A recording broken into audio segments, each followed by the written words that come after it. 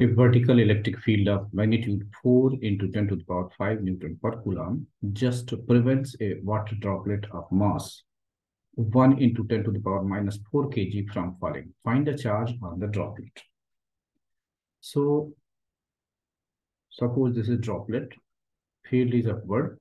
So there will be force QE in upward direction and its weight will be mg in downward direction the two will be in equilibrium. So we can say that QE equal to mg. Here, Q is to be found and electric field is given as 4 into 10 to the power 5 and mass is given as 1.0 into 10 to the power minus 4 times value of G, let's take 9.8 meter per second square. So our concern is to get Q. So that will be equal to 10 to the power minus 4 into 9.8 divided by 4 into 10 to the power 5. So if we simplify, we will get Q equal to 2.45 into 10 to the power minus 9 Coulomb. Let's see next question three charges equal in value plus q are placed on three corners of a square of side A. So here each side of square is A and these are the charges. Find the electric field at the fourth corner due to these charges. We have to find out electric field here due to these three charges. So here distance BD will be A root 2 whereas CD and this AD will be A. So let's find out electric field due to charge Q at point D. So it will be in this direction. Suppose it is E1. So E1 will be equal to Q divided by 4 pi epsilon naught a square and its direction is shown. Now let's find out E2. E2 will be electric field due to this charge, charge at C. So it is in this direction and its magnitude will be same because this side is same. This is also A. So Q divided by 4 pi epsilon naught times E square. And then we find E3 due to this charge.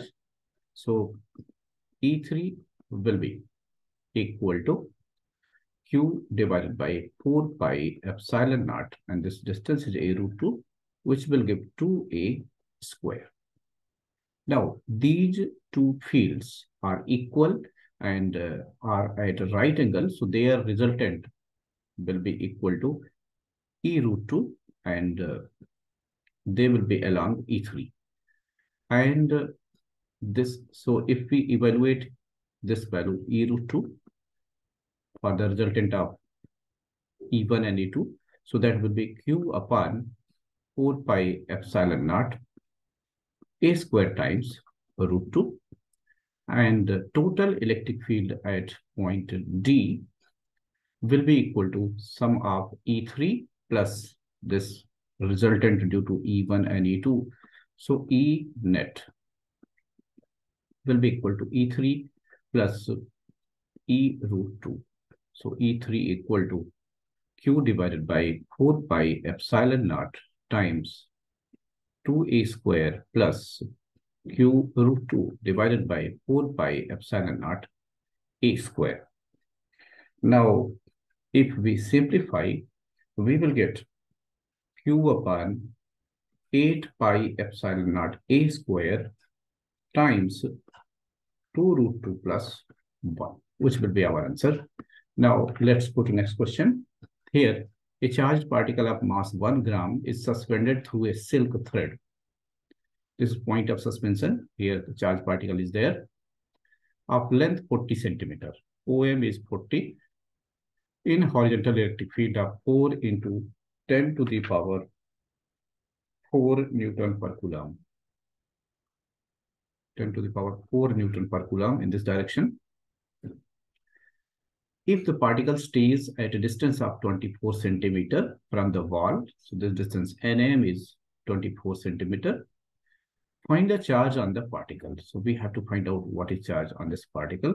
So since field is in this direction, so force on charged particle will be QE in this direction.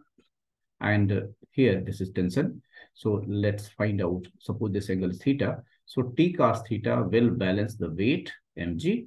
So T cos theta equal to mg and T sine theta will be force. So T sine theta equal to QE. Now, if we divide the two, so what do we get?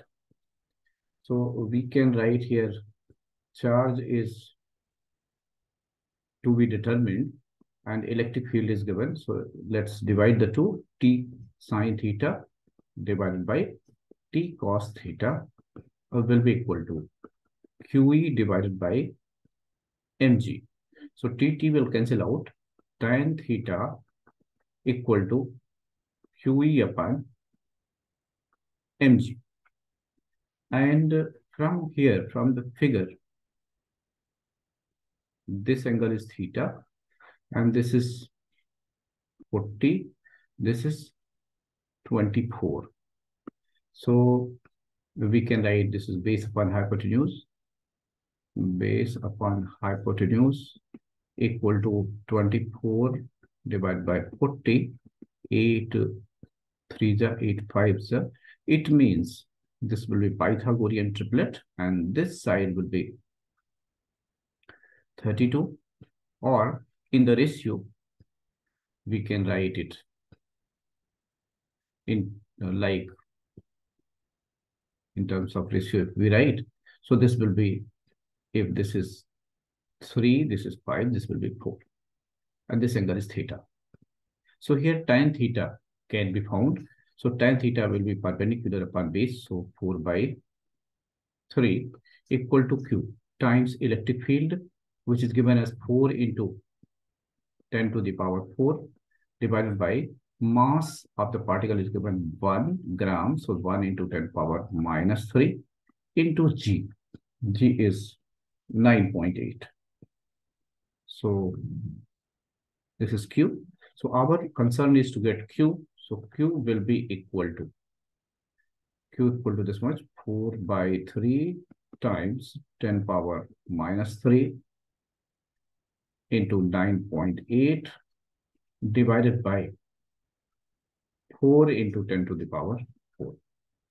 So if we evaluate it, we will get 1.8 into 10 to the power 10 to the power minus 7 coulomb and uh, that will be our answer. Thank you for watching.